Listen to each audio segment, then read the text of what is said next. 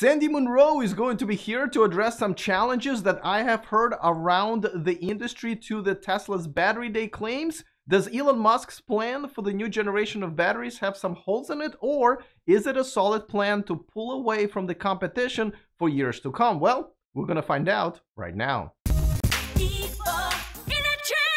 Welcome to E4 Electric, your number one source of electric car scoop. If you are interested in everything that's going on in the world of electric cars, and most importantly, if you enjoy Sandy Munro, well, he's here every month. So don't forget to click on that subscribe button and the bell notification icon so you don't miss anything moving forward. Tesla's Battery Day has unveiled some amazing tech, and a lot of people were absolutely floored by it, and some were disappointed. Now, I think both camps have a case, but me, and the curious journalist that I am, I started wondering in my head, like, why is Tesla once again the only one innovating? How come no one ever thought about this type of stuff?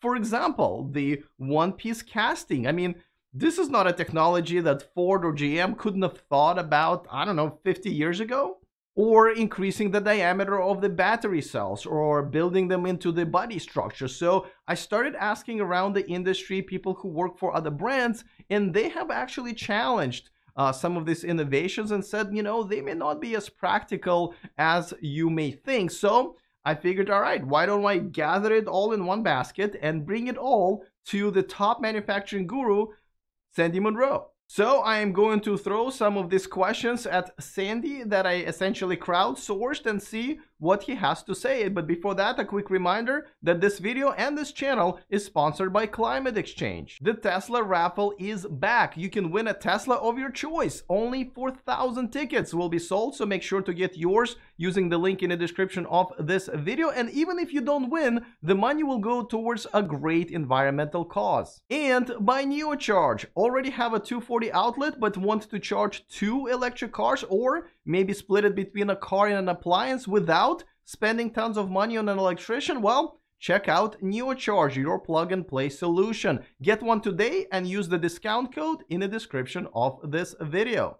I wanted to talk about a couple of things that we talked about last time, right? The big things uh, that, that Elon announced on the battery day. But once they settled in my mind, and once I actually started talking to some people who um, uh, challenge some of the ideas that Elon had, I wanted to run them by you because they kind of made sense to me, and I wanted to balance it, you know, out with with with, with what Elon was saying during the uh, battery day. And I guess okay. the biggest thing that hasn't settled in my mind is the single piece casting. You know, um, you know, why don't you explain? A much better person to explain to my audience what is this single piece casting? And I know you've been suggesting that to Tesla for a long time until they finally did it.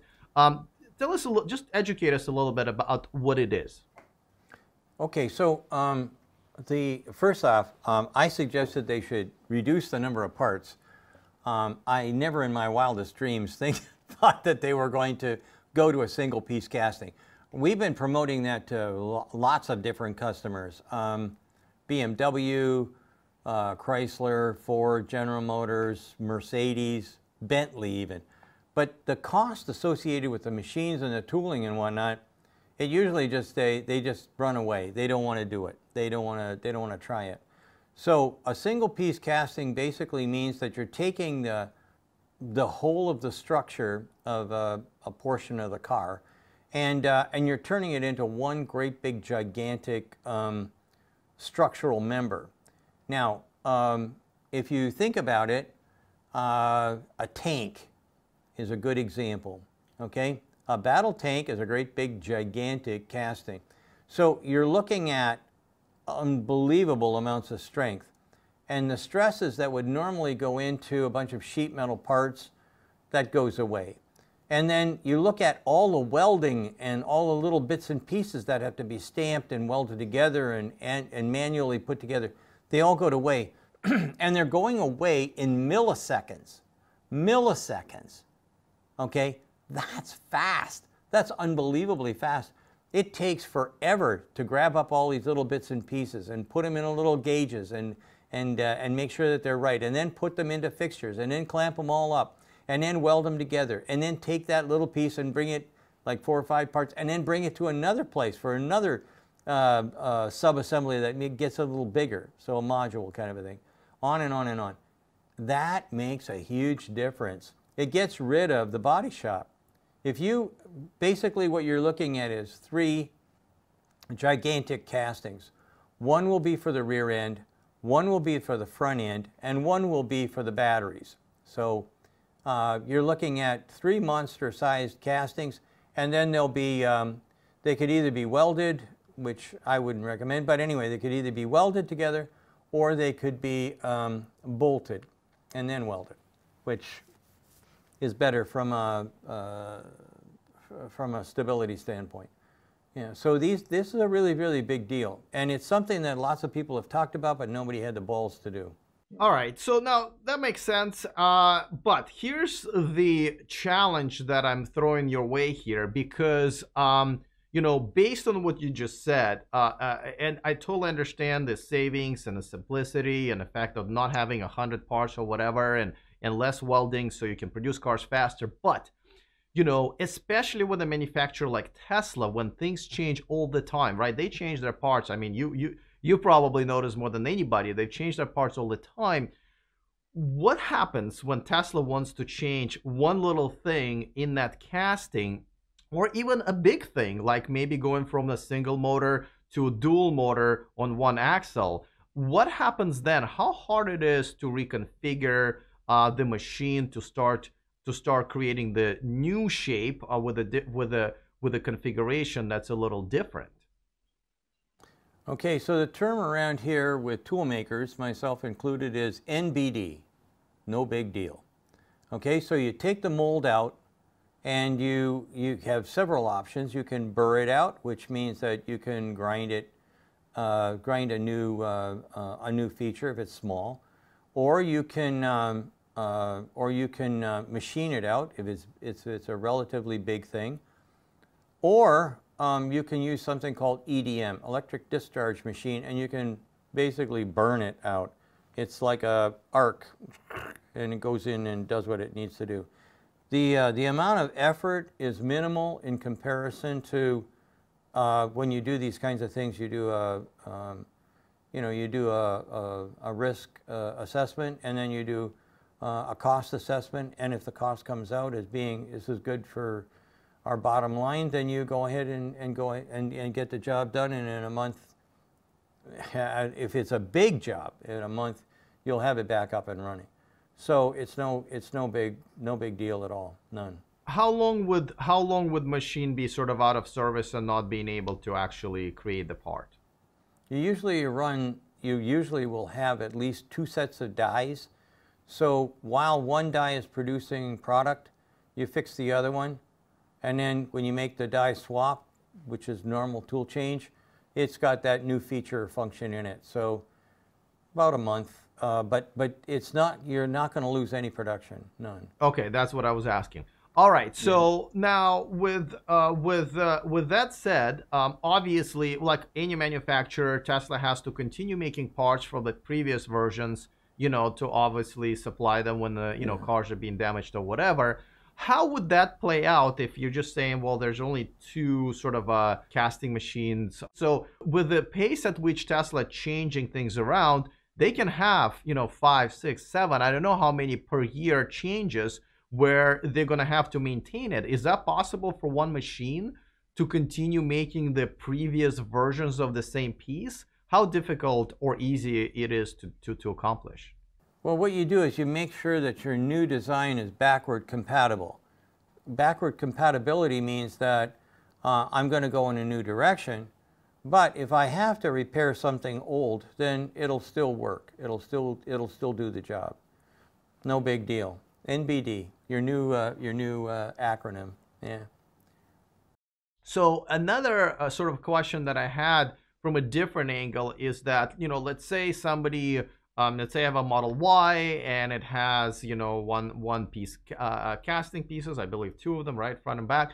And uh, they um, somebody you know rear ends me on, on on one side and essentially damages that piece because it's you know it's there. Um, now instead of right now instead of getting the entire part right which is expensive um, you know, you would have to replace whatever 10, 15 parts because there's so many of them right now, and you're good to go. Versus if I would have to replace the entire piece, um, that obviously would be way more expensive and way more labor intense. Um, is that is that going to create a problem for the repairs? Right now, what insurance companies are doing is they'd rather scrap cars than um, than have them repaired because a lot of the repairs that have to be made, like if it's a significant amount and you've actually intruded into the structural members of the car, they'll just scrap it out. So if you got if you've gotten into an accident with something like a Model Y or what have you, and you have those big castings, if you intrude so hard into the uh, it, like a like a Sorb kind of a crash on uh, in the front or a heavy rear end crash and you break those castings, that thing will be written off. No, no insurance companies are going to want to even see it back on the road. In fact, nowadays, in the old days, people would go and buy a wreck or something like that and try and put it back on the road. Now it's uh, totally different. You have to pull things out of it so that it would make it impossible for people to, to do just that that's that's pretty much my sort of challenges to the uh, One Piece casting. But there's another one that I wanted to also discuss with you, which is you know the new uh, battery pack. I don't know what we're even calling it. Uh, without the actual structure, without the actual battery pack around it, you know, we're talking about you know all of these molded together in one brick, as you call it. Um, yeah. But there are a lot of but a lot of people kind of challenge that in terms of saying like okay that's i you know understand it's going to be pretty solid but at the same time if there is not enough protection and another car or you know a car can uh near the tesla can actually ride onto a large stone or large piece of metal just the impact with the battery that's not protected can still cause a fire much like the very original model s cars that did not have the shield underneath it. Um you know is there some validity to that concern that the battery pack still needs to be protected regardless of being very solid? Well, the battery pack is now structure. It's a structural uh, member. So what you're looking at is something that's got um, way more uh, structure associated with it than the existing battery pack. So um, actually, I'm, we're creating one. Um, right now. Uh, we're, we're trying to reproduce what that thing will look like. And, uh, and so you're going to have um, you're going to have a very thick section. It'll have holes in it. It'll be a, um, it'll be a, um, um, uh, a, honeycomb kind of a product, and a honeycomb product is much stronger than a uh, than just two two or three flat plates. So it's going to have that on the bottom. It's going to have um, an intrusion beam on the sides. It's just going to be built into the, uh, the new battery pack. So eh, there's no, this is going to be stronger than what you've got now. It'll, it'll be much harder to intrude into the, uh, into the actual battery cells, the little um, 4680s, and it'll be impossible to get in there. Well, nothing's impossible, but it'll be very, very difficult for anybody to crash it hard enough so that they would, uh, they would break through the, uh, the outer shell and, and get to where the cells are. It's, uh, no, this is much stronger. This is a better way to go because really and truly now what you've got is all those cells are glued together. That makes them an entire structure. It's not like right now where, I mean, you bang into it, you've got four things that can rattle around the battery packs now. The, uh, they, they, can, they can bang into each other. Um, it's got breathing room between them, which means that, okay, it's good for crush, but not so good for, uh, for uh, like uh, structural strength. So I think, uh, no, I think, I think it's much better now. The, this new design is what I would pick.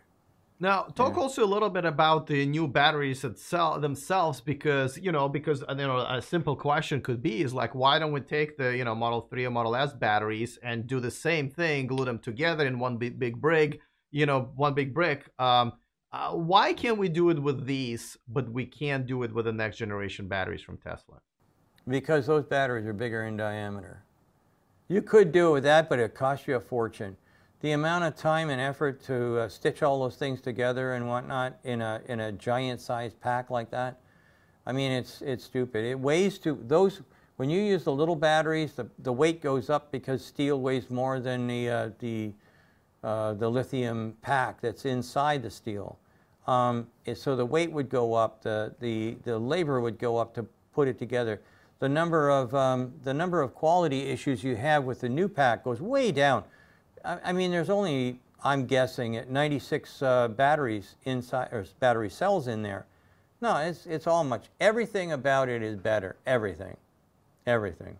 And, and so you mentioned that it it, it, it would uh, essentially weigh more because the diameter is smaller and there's you know the, there's still a casing more is, steel. but yeah. but but okay so then the, the question is right now the new diameter is going to be 46 right yeah why not make it bigger than that why not make it 100 or 200 like where where's that that that sweet spot why 46 well 46 um, 50 is what i wanted um, but the big problem is wicking. I, I need to wick the, um, um, um, what would you call it? Um, I need to wick the fluid all the way through to the bottom. If I can't do that, then I don't have a battery. The bigger you get, the harder it is to wick it down, to press the, the fluids in uh, that make the electrolytes that make everything work. If I can't do that, uh, then I, I'm wasting my time. 46 is probably the optimum. Other people have tried it around 50, but 46 is probably the best thing that we could probably have, and Tesla does a lot more experimentation than I ever do. So, okay, um, so anyway, that's that's kind of like uh, the um, that's that's kind of like what's going on. And you also mentioned the reduction in weight uh, in terms of just the battery pack. Uh, let's just look at a 100 kilowatt hour battery pack, the current one and a new one that they're working on, what would be the weight reduction that you see realistically that Tesla will be able to achieve because of this? I think you're looking at about 10 to 12 percent, maybe even 15 uh, weight reduction because of the bigger cans, so the, the steel weight goes down. And then I'd say another um, 6 or 8 percent because I don't have two sets of structure. If you remember, we did uh, stress tests on the uh, battery pack and we also did it on the frame of the car and it came out the same. That means that basically it's twice as strong as it had to be. Now they might go and say, okay, well, let's give it an extra 25%. So what I think is you're looking at another 6 or 8% um, uh, weight and cost reduction because of that. All right, thank you to Sandy once again for clearing things up. And by the way, just in case if you don't know, he has a YouTube channel of his own. As a matter of fact, he's just released a video about his understanding on how the 4680 battery pack is going to work. And as you can see, he's even built a full-scale mock-up which looks absolutely awesome. I put that link in the description of this video. And of course, you're watching me on YouTube. You can just click on it right there. All right, looking forward to all of your comments. Don't forget to subscribe because Sandy is back every month other than that, see you guys next time and remember to stay charged.